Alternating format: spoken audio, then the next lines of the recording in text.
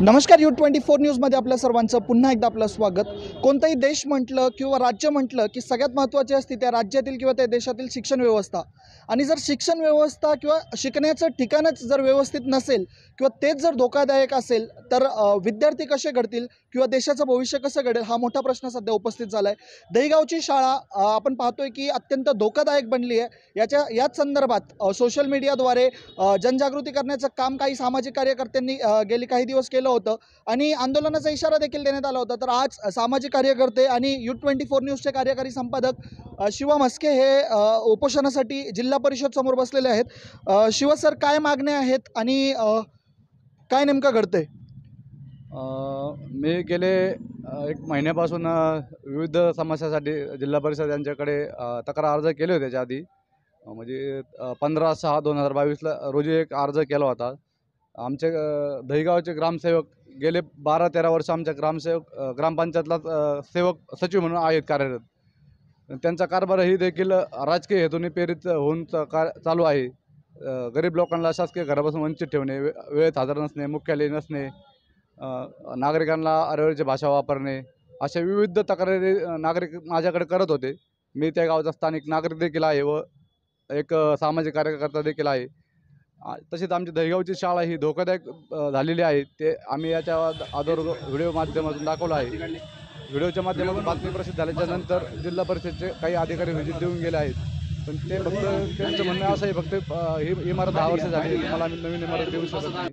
पण याची जबाबदारी घेणार कोण? इमारत पूर्णपणे चिरा पडल्या आहेत इमारत पूर्णपणे गळत आहे आणि शाळेची गुणवत्ता ही ढासळली आहे. अशा विविध तक्रारी आम्ही समक्ष दाखवून ही त्या जाणीवपूर्वक दुर्लक्ष केले जात आहे. राजकीय पुढाऱ्यांच्या ऐकून एक झा हा प्रकरण दाबण्याचा प्रयत्न चालू आहे. जर आम्हाला न्याय न भेटला इतिहास आम्ही औरंगाबाद खंडपीठात धाव घेण्याची आमच्या प्रशासनाने वेळ येऊ देणे अशी आमची विनंती आहे व आम्ही आज या ठिकाणी ज्या मागण्या मांडल्या आहेत त्या मागण्यांचा शिवसाहेबांनी जिल्हा परिषद यांनी विचार करावा. नाहीतर आम्हाला न्यायालयात जाण्याची वेळ अ, जिल प्रशासनाने येऊन देऊ नये. तरी आम्ही नगर तालुक्याचा एक विषय घेतला आहे. ग्रामपंचायतमध्ये सी सी टी व्ही कॅमेरे बसवणे नगर तालुक्यात प्रत्येक ग्रामपंचायतला बंधनकारक करावे तसेच नगर तालुक्यातील प्रत्येक ग्राम ग्रामपंचायतमध्ये थंब बसवणे ग्रामसेवक कधी येतो कधी जातो शासकीय सुट्ट्या कधी आहेत कधी मिटिंग आहेत हे बऱ्याचशा नागरिकांना माही अडाणी असल्यामुळे कळत नाही. अशिक्षित आहेत ग्रामीण भाग. त्याचाच फायदा हा प्रशासक वर्ग काही घेत आहे. त्याच्यामुळे यांच्यावर कुठे चाप बसला पाहिजे. आमचं म्हणणं आहे त्यांनी जेव्हा शासकीय वेळ आहे काय नऊ ते पाच दहा ते पाच त्या त्यांनी हजर राहणे गरजेचं आहे.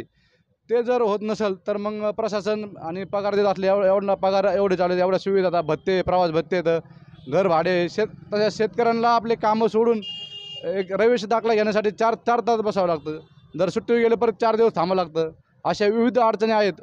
जिल्हा परिषद आज आम्ही या ठिकाणी विविध मागण्यासाठी उपोषण बसले आहेत. आमच्या त्या मागणी मान्य करून आम्हाला त्या न्याय द्यावा अशी आमची विनंती आहे. धन्यवाद.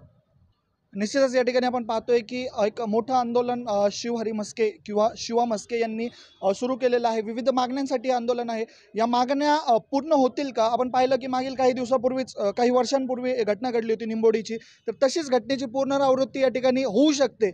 आणि तत्पूर्वीच या सामाजिक कार्यकर्त्यांनी या ठिकाणी आवाज उठवला आहे आणि नवीन शाळेच्या इमारतीची मागणी केली आहे. तर या संदर्भात काय सांगाल? आम्ही आता त्या स- सर्व शाळा आम्ही व्हिडिओ माध्यमातून दाखवलीच आहे. काही जिल्हा परिषद अधिकारी येऊन गेले आहेत पण ते त्यांचं म्हणणं आहे आम्ही फक्त दुरुस्तीसाठी खर्च देऊ. पण शाळा पडल्यावर जबाबदार कोण? याची कोणतरी जबाबदारी घेणं गरजेचं आहे. जबाबदारी घेऊन आम्हाला आश्वासन दिलं पाहिजे शाळा पडणार नाही धोकेदायक नाही. आम्हाला वरून तर दिसतंय श शंभर टक्के खालूनपासून वरपर्यंत चिरा पडल्या आहेत मोठमोठ्या. त्या ठिकाणी मागच्या साईडने भरपूर ओ ओलावा आहे बाजार तलाव आहे. त्याची लेवल भौगोलिक परिस्थिती कोणत्याही इंजिनिअरने काढलेली नाही. आणि ज्यावेळेस काम चालू होतं ते ग्रामपंचायत मार्फत काम झालेलं आहे. ते आणि निकृष्ट दर्जाचं आहे मटेरियल निकृष्ट दर्जाचं आहे. त्याच्यामुळे त्या इमारतीचं ऑडिट होणं गरजेचं आहे निर्लखन होणं गरजेचं आहे. आणि जो लहान मुलांच्या जीवितात जो धोका आहे तो कुठंतरी एक जबाबदारी घेणं गरजेचं आहे. झाल्यानंतर काय उपयोग नाही. मग दुःख संबंधित कुटुंबावर येणार आहे. त्याच्यामुळं अधिकाऱ्यांनी एक जबाबदारी निश्चित करावी जबाबदारी घ्यावी किंवा आम्हाला नवीन शाळा द्यावी आमची अशी विनंती आहे. आणि आमची जी गुणवत्ता ढासळली दहीगाव शाळेची ती गुणवत्ता ही सुद्धा जागी राहावी आमच्या शाळेचे दोन शिक्षक गेल्या दोन वर्षापासून रिक्त जागा आहेत. त्याच्याकडे जिल्हा परिषदेने दुर्लक्ष केलं आहे. ज- पुढारी आपलं वजन वापरून आपल्या आपल्या गावाला शिक्षक घेऊन जातात या ठिकाणाहून. त्याच्यामुळे कुठंतरी एक श- प्रशासन सिस्टीम जागेवर आलं पाहिजे कुठंतरी. प्रत्येकाला न्याय भेटला पाहिजे. अर्ज देणे तक्रार करणे आणि उपोषण बसल्यानंतर ते काम करणे हे कितपत योग्य वाटतं प्रशासन? त्यांनी त्यांचं आत्मपरीक्षण करायला पाहिजे. प्रत्येक गावाच्या आ- बिकट अवस्था झालेल्या आहेत. दिसतं तसं नाही आहे असं बऱ्याच गावात आहे. ब त्याच्यामुळे नागरिकांच्या समस्या प्रशासन सोडण्याचे अद्याप करत आहे हे समजून त्यांनी आमच्या समस्या सोडवल्याच पाहिजे. न सोडल्यास आम्हाला न्यायालयात जाण्याची वेळ येऊन देऊ नये अशी आमची विनंती आहे. तरी जिल्हा परिषदेचे सीओ असतील गट विकासाचे पंचायत समिती बी डी ओ असतील यांनी त्याची दखल घ्यावी व योग्य ते संबंधित विभागाला आदेश देऊन कार्यवाही करावी व आम्हाला त्याचा अहवाल सा सादर करावा. या ठिकाणी आपण पाहतोय की सामाजिक कार्यकर्ता शिवा मस्के यांनी आमरण उपोषण जिल्हा परिषद कार्यालयासमोर सुरू केलं आहे आणि त्यांच्या ज्या काही मागण्या आहेत त्या पूर्ण होतील की नाही हे पाहणं निश्चितच महत्त्वाचं ठरेल.